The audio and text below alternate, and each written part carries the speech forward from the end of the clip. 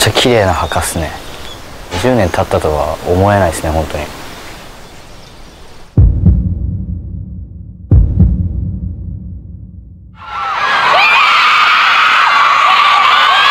多分僕はヒデの人生を変えてしまったと思うんですよ。もし自分が誘ってなかったら生きてたかもしれないですよね。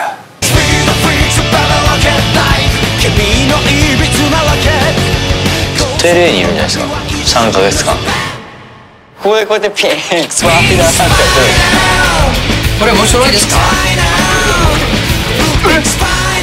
嘘でしょ。メリーゴーランド。